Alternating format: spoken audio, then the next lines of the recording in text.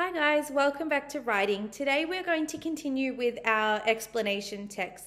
So what we'll be doing today is a new topic and we are doing it on the water cycle. So this is something that everybody is familiar with as we looked at this last year as well. So what you're going to do, you would have already watched the video with your teacher, but we're going to listen to that song again. But it's really cool because this song actually tells us so much information about water cycles.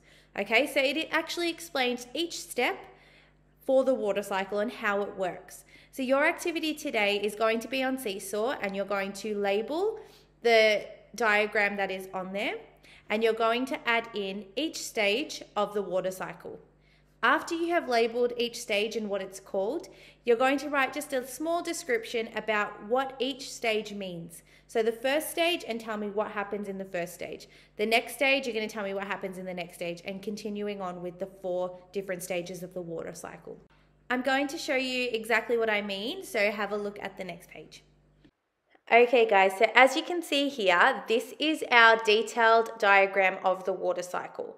You can see that there are very descriptive parts of this. So you can see that the red arrows are showing how one of the stages is going upwards. You can also see how each blue arrow is going around in a cycle.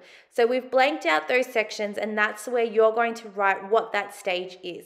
So you're going to fill that in onto Seesaw. On the next page of the Seesaw activity, you'll see that there are different sections and for those different sections, you're going to write what actually happens in those stages.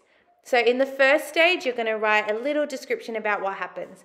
The next stage, you're going to write what happens in that stage. Luckily, the song that I had put on the website and the song that we all know because of last year, it actually tells us a lot of information about each stage. So you are able to go and listen to that song and maybe write down some notes as you're listening to it.